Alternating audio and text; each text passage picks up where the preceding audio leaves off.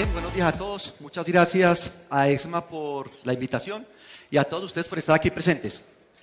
Vamos a trabajar el día de hoy eh, algo que me, me tiene muy pensativo y es que las marcas creíbles venden más. Es hora de convertir tu marca en influencer.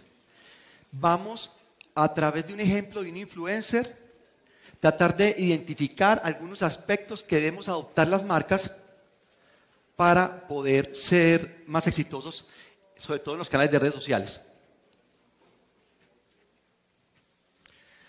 Todo empezó eh, en el mundo de los influencers.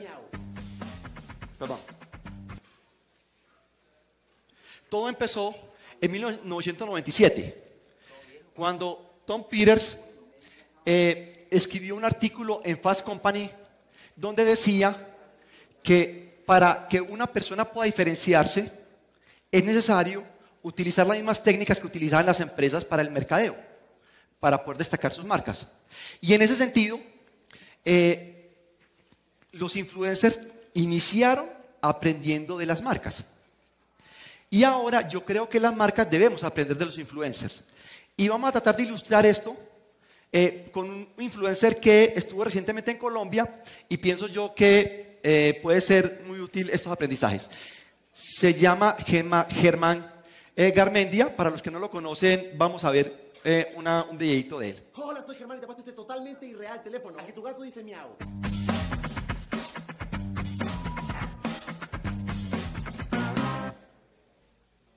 Las llamadas telefónicas. Primero que todo, ¿qué son las llamadas? Son las hadas madrinas de las llamas. Pero también es cuando una persona te llama a tu teléfono. ¿Qué? ¿Es un teléfono? Existen varios tipos de llamadas telefónicas. Por ejemplo, esta es una que a todos nos ha pasado. ¿Aló? Aló, mi amor, ¿cómo estás? Hola, hola, vuelve conmigo, por favor. yo te extraño mucho, por favor, vuelve conmigo. yo te amo mucho. Ya, cállate. Si no te despertó tu ex llorando a las 4 de la mañana, no tuviste adolescencia. Una llamada confusa es cuando te llama un número desconocido. Un número que no tienes registrado y no sabes quién es. Tienes dos opciones: contestar o no contestar. Si contestas. ¿Aló? Hola, lo estamos llamando del banco y cordialmente le queríamos decir que pague sus deudas. Maldito fracasado, hijo de tu mamá, paga tus deudas. Y por eso a veces no contesta. Así que a veces tienes que darle la vuelta y contestar. ¿Sí? Hola Germán, soy Emma Watson. Por los bigotes de mi abuela es Emma Watson. Y luego te enteras de quién te llamó y tú no contestaste y... Aparte de eso, los números desconocidos pueden ser peligrosos. Puede ser un estafador, un violador o incluso un asesino. ¿Aló? Te voy a matar. Te voy a partir en pedacitos cuando menos te lo esperes. ¿Y cuándo sería eso? Este martes. ¿Este martes? Mira, el martes estoy un poco ocupado, así que no puedo. Ah, ok. ¿Y, y el miércoles? El miércoles puedo, pero tengo como 30 minutos disponibles nada más. No, 30 minutos es muy poco, no alcanzo a matarte. Sí, sí, sí, eso pensé. Mm, ¿y, el, ¿Y el sábado? A ver, mm, de hecho el sábado sí puedo, sí. ¿Sí? Sí, estoy libre. Ah, ok, perfecto, perfecto. Te mataré este sábado. Bien, lo que me llama mucho la atención de este caso es que su canal en YouTube, eh, Hola, soy Germán, es el segundo canal del mundo en número de suscriptores. Es decir, está superando a, a Nat está superando a empresas que gastan millones de dólares en generación de videos, con una calidad excelente, con unos esfuerzos grandísimos, y esta persona la está superando. Y además, que es latinoamericano, me llama mucho la atención. Si tú ves eh, las nacionalidades, pues eh, el primero también es un youtuber, pero los demás, eh, digamos, son de, de otras latitudes. Entonces, me puse a reflexionar, están haciendo algo bien. Y vamos a mirar cuáles serían mis recomendaciones para que podamos utilizar esos aprendizajes en las marcas. Lo primero, pon a la audiencia en el centro. Eso es casi que una premisa de todas las empresas. Pero cuando uno ve esta noticia, dice, wow, definitivamente, cuando vino en Colombia, Germán Garmendia firmó autógrafos hasta que se desmayó. Eso es ir una milla más. Y es lo que considero que la audiencia valora de los influencers. Para las marcas es muy, muy importante el poder siempre poner a la audiencia en el centro. Incluso se llega al punto casi de que sea más importante que la audiencia a que la expresión de la misma marca. ¿Por qué? Vamos a ver unos ejemplos al final de algunas marcas que se han vuelto influencers y van a ver que en todas ellas la información que ellas comparten es información de valor para la audiencia más que información de la marca.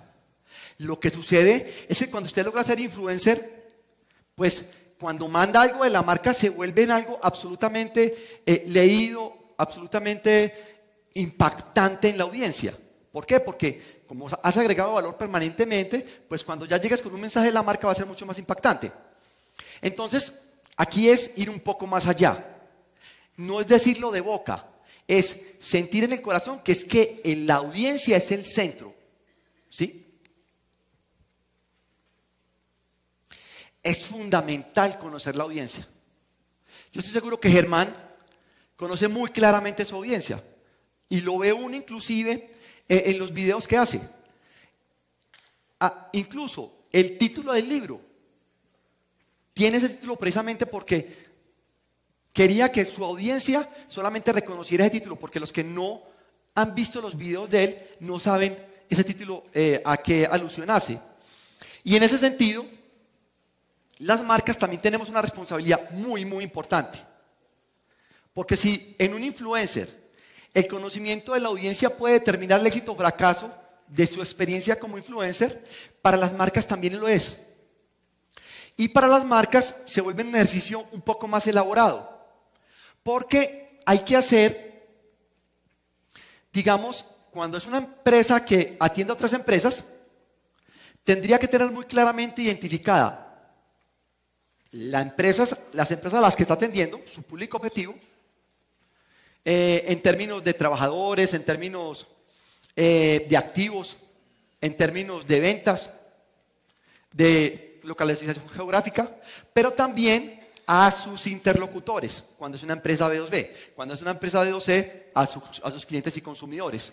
Y en este caso, deberíamos tener en consideración no solamente aspectos demográficos, que tienen que ver con rangos de edad, con lugar geográfico donde viven, con nivel económico, con nivel cultural, con género, etcétera, sino también con aspectos psicográficos. Porque aquí lo que estamos procurando es utilizar las redes sociales para volvernos en, influencers. Y para poder ser impactantes en la comunicación en social media es muy importante el aspecto psicográfico. El aspecto psicográfico está haciendo referencia a estilos de vida, a intereses, y aspectos que van un poco más allá que los demográficos, lo que me va a permitir tener una comunicación mucho más efectiva por parte de la organización. Construya la identidad de marca. Y aquí es muy importante que las empresas mm, no caigamos en el error que es que la personalidad de la empresa es la personalidad de community manager que está en ese momento atendiendo las redes sociales de la empresa. Así como Germán tiene una cara seria y una cara no tan seria, y él exploró un montón de, digamos, de identidades hasta que encontró la suya. Las marcas deberíamos de encontrar nuestra identidad más adecuada en las redes sociales. Recuerden que las redes sociales nos permiten ajustar el tono de comunicación del mundo físico y esto hace que esa identidad pueda diferir un poco de la del mundo físico. Hay empresas muy, muy serias que cuando están en las redes sociales pueden, por, su lenguaje más cercano, más cálido, pues adquieren una, una identidad un poco diferente. Y es el espacio para hacerlo, porque eso es entender el canal, porque aquellas empresas que hablan igual en el mundo físico a las redes sociales definitivamente están eh, perdiendo la oportunidad de acercarse a la audiencia y generar un enlace emocional con ella. Entonces, las marcas deberíamos tener casi que la identidad de la marca en redes sociales escrita. Porque, como les decía, ese riesgo de depender de un community manager, que en algún momento eh, es una persona extrovertida, graciosa, y la marca se ve mucho así. Cuando se va él, entra otro con unas características diferentes y esta, ¿qué pasó aquí? Esta no es la marca que yo conocía.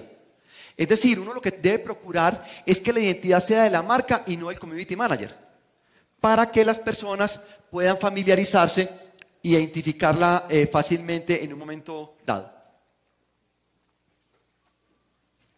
Crea contenido de valor. Y yo quería mostrar, cuando, Germán tiene un video de 31 millones de vistas, dice, eso tiene que ser de valor.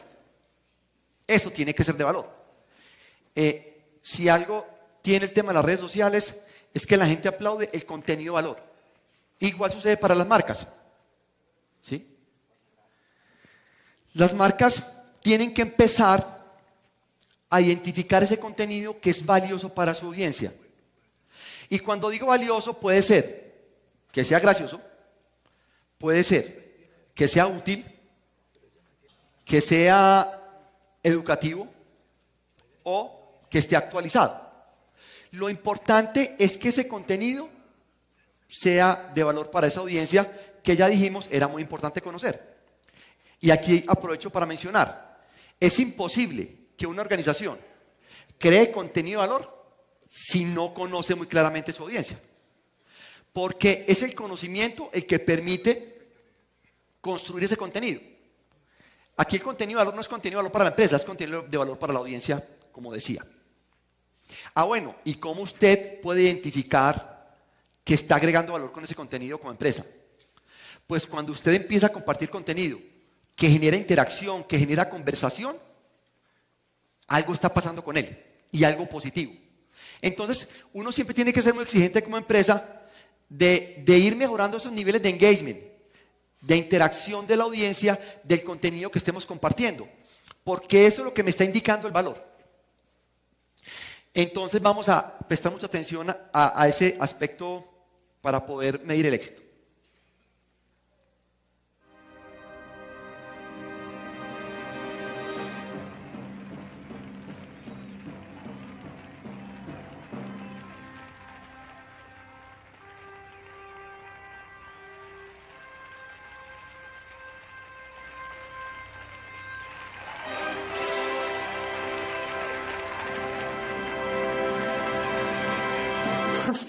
Luego de muchos meses de estar trabajando, por fin está en mis manos. ¡Chupa el perro! ¡El libro! ¿Saben lo? Lo que trato de ilustrar con este ejemplo es que el detrás del libro tiene una historia de cómo fue que lo llegó a él, explica todo y dice uno, pues que definitivamente se prueba por qué en el marketing el tema de storytelling se vuelve tan importante. No de noticias, cuente historias. Incluso eh, cuando uno logra como expositor o como speaker contar historias, está logrando, digamos, mayor, una mayor probabilidad de enganche con la audiencia. Porque las cosas aisladas pueden llamar la atención, pero se quedan ahí. Cuando usted cuenta historias, se puede meter en el ámbito emocional, que es mucho más significativo para la organización. Entonces, tenemos que hacer un esfuerzo por lograr que lo que vayamos a decir esté inmerso dentro de una historia. Las, empresas que tienen sus agencias es exigirle eso a las agencias. Y las que no, porque son eh, pequeñas, ser muy creativos para poderlo lograr. Muestre el lado humano. Los influencers siempre. Aquí están mostrando una característica de Germán con sus mascotas en un ambiente muy distinto a lo que la gente lo acostumbra a ver. Así como ellos, es muy importante que se muestren humanos, las marcas también deberían mostrar su lado humano. Miren, en muchas ocasiones eso es lo que logra cuando una organización se preocupa porque no es tan cercana, eh, las personas no lo sienten, digamos, de una manera tan cálida, empezando a, digamos, a cubrir aspectos como este, ya empiezan a ver que es que hay personas detrás de la marca. Y que esas personas definitivamente, eh, ya con ellas me puedo tener un sentimiento de cercanía mayor, un sentimiento emocional mayor. Entonces, para las marcas es muy importante mostrar su lado humano. ¿Sí? Aunque en muchas ocasiones ese, lado humano puede ser una selfie de los trabajadores en su puesto de trabajo o durante un evento o en un momento determinado, pero sí que detrás de esta organización hay trabajadores que están, digamos que están laborando todos los días para poder satisfacer mejor sus necesidades y expectativas. Esas expresiones deberían ser lo más naturales, lo más frescas posibles. Las fotos de todo el mundo parado así no son tan buenas como las que estoy tratando de ilustrar dentro de, la imagen. ¿Por qué? Porque estamos en un canal que cada vez está favoreciendo más este tipo de imágenes.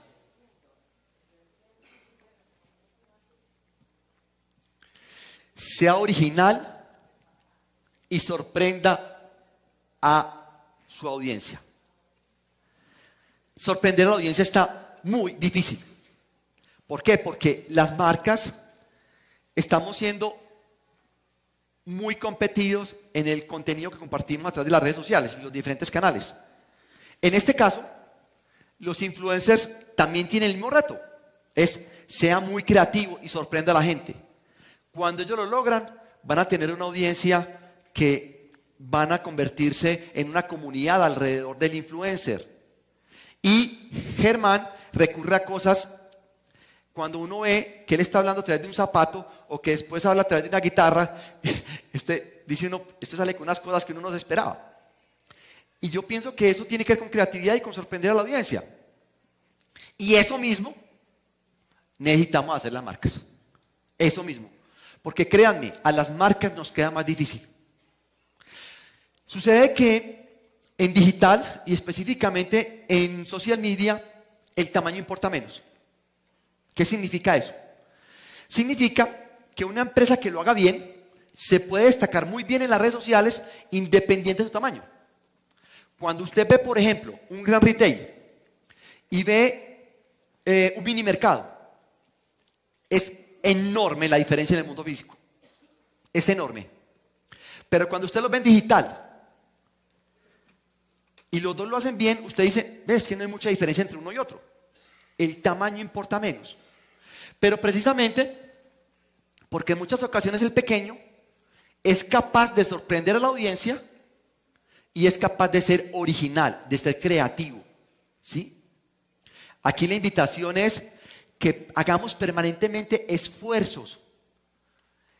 Y yo sé que no es fácil. Yo sé que lo más yo sé que lo más simple para una organización es poner, ve que tenemos que informar esto, pum, puse un post bien escrito, que eso es lo mínimo que uno exige, pero con nada creativo, con nada distinto, con nada que sorprenda. Entonces, aquí es tener ese reto de, tratar de, hacer las cosas un poco diferentes. Por el video de la semana. Si te gustó, haz clic en el botón me gusta de acá abajo. Si no te gustó, haz clic en el botón me gusta de acá abajo. ¿Qué? ¿Así funciona? ¿No me creí? Suscríbete haciendo clic en el botón grita acá arriba y nos vemos la próxima semana. Aquí lo que está haciendo Germán es tratando de generar interacción. Él está tratando de que la gente interactúe con él y lo expresa directamente dentro de su video. ¿Sí? Las marcas deberíamos tratar también de crear conversación y atención, participar en ella. Las marcas no nos debemos limitar con responder las preguntas que nos hacen en las redes sociales tienen que ir más allá. Tienen que procurar participar en la conversación que se genera dentro de nuestros timelines. Me explico. Usted comparte en sus redes sociales un premio que se ganó. Le dieron un reconocimiento por, porque su producto es de excelente calidad y es un, premio internacional. La gente, si se está haciendo bien las cosas, pues van a tener expresiones, digamos, de, felicitación. Pues es bueno que la marca en el timeline, en forma esporádica diga, ve, gracias a todos, eh, lo estamos haciendo por ustedes. Es, es eso, es que también en, el, en la conversación misma se pueda involucrar la empresa, para que no sea solamente un canal para responder las preguntas y para dejar que todos los demás eh, hablen porque se convertiría en un canal 1.0. Aquí estamos hablando que es un canal 2.0 que es de ida y vuelta. Y en ese sentido, debemos crear conversación y participar en ella.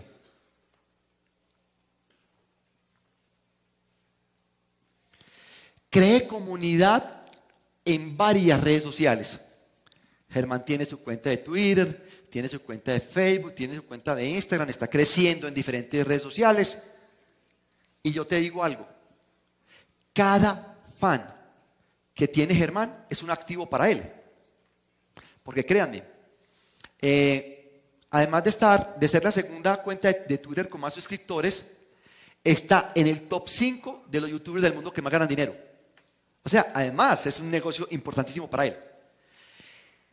Igual sucede para las marcas. Ustedes deberían de distribuir los recursos de acuerdo a que si la empresa es grande, mediana o pequeña, en las redes sociales en las que consideran que más está presente su audiencia. Pero ojalá estuviésemos en todas, las importantes. Y hacemos énfasis en aquellas en las cuales eh, consideramos que nuestra audiencia eh, está con mayor presencia.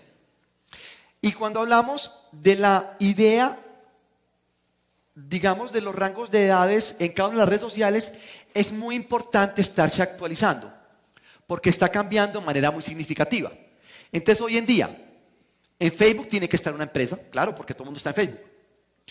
La segunda red social en el mundo hoy por hoy es Instagram. Entonces, todas las empresas tienen que estar en Instagram porque es la segunda red social. Incluso, eh, cuando uno trabaja este tema, hay veces parece contradecirse. Yo tengo videos de hace dos años donde yo decía, Instagram es para aquellas marcas que están en el sector de la moda, en, en aquellas categorías en las cuales se puede potencializar el tema visual. Bueno, tenía una posición diferente, técnica. Hoy en día Instagram es para todas las marcas. Twitter, un canal de comunicación oficial para la organización. Un canal de tiempo real. Un canal que le está llegando a la audiencia en el lugar de trabajo.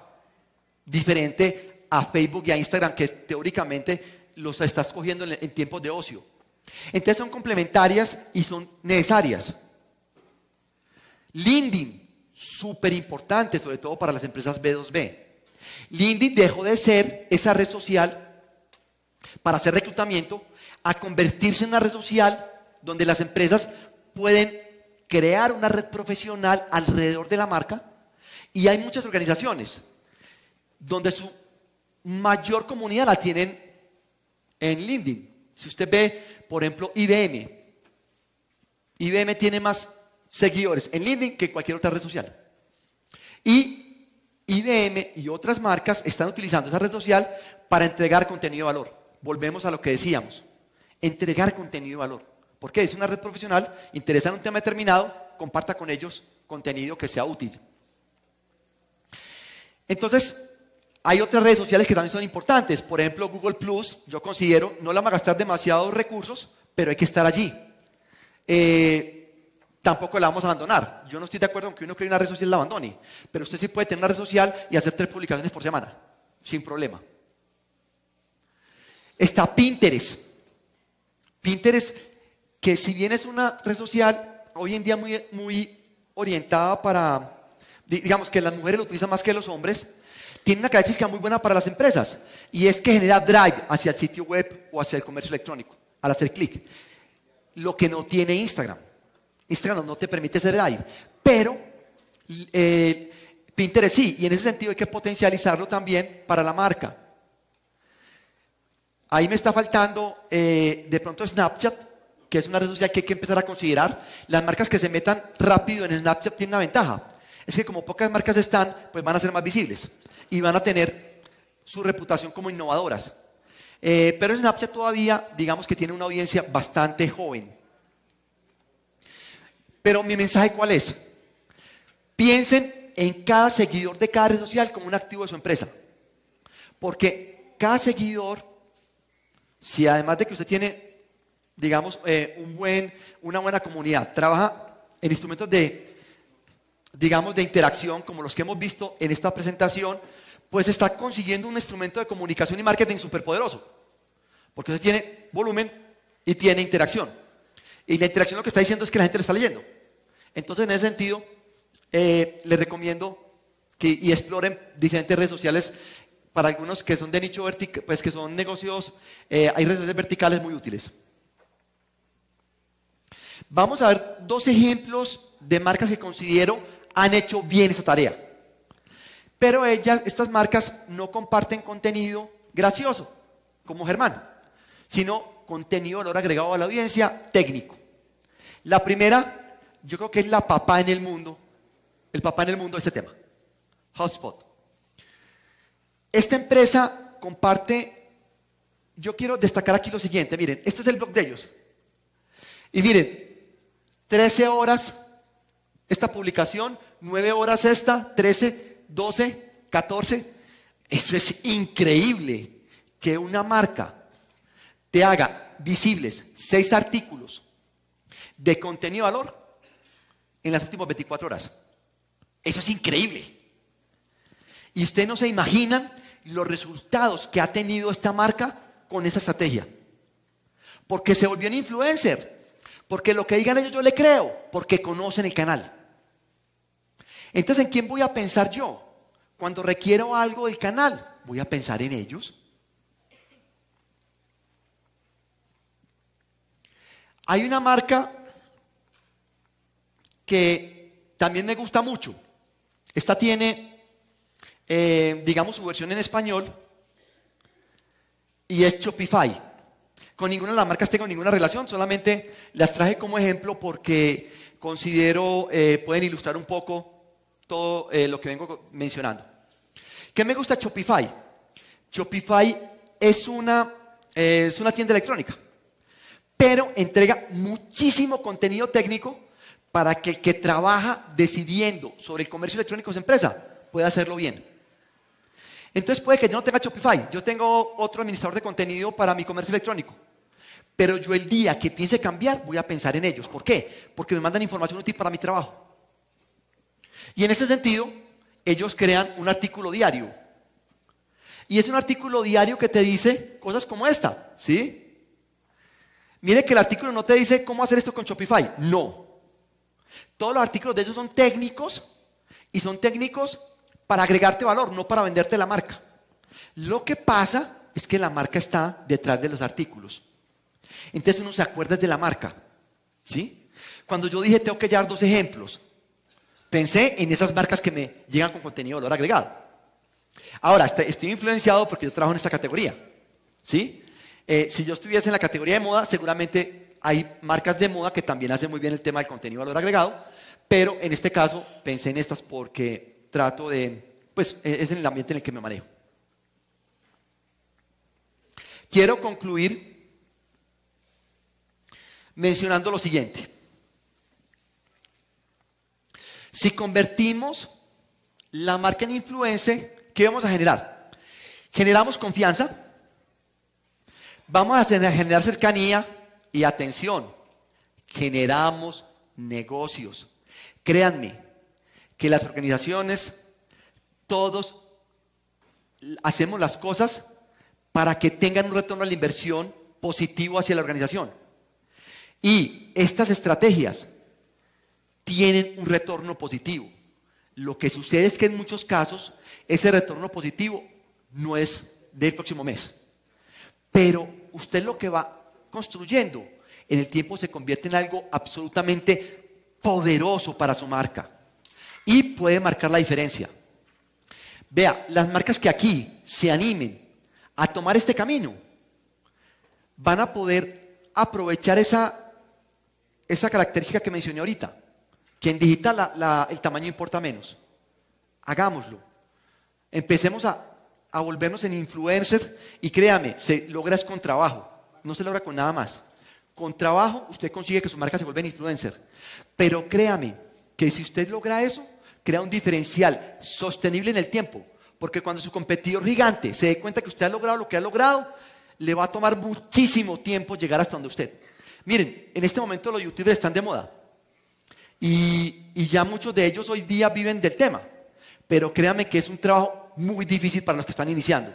¿Por qué? Porque ya los que empezaron van muy adelante. Igual va a pasar con las marcas. Anímense a, ir esa milla adicional, a recorrer ese camino de generar valor a la audiencia, de hacer lo que estos influencers les ha permitido ser exitosos para que su marca se destaque verdaderamente. Eh, les agradezco mucho. Gracias. Gracias. Gracias. Gracias. Gracias. Gracias. Gracias. Gracias.